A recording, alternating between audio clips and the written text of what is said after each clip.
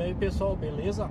Estou indo ao litoral e vou gravar todo o percurso, vou deixar o vídeo acelerado para vocês irem vendo o percurso aí, vou colocar umas músicas durante o vídeo para ele ficar mais atraente aí para vocês uh, olharem ele e irem acompanhando, beleza? Valeu!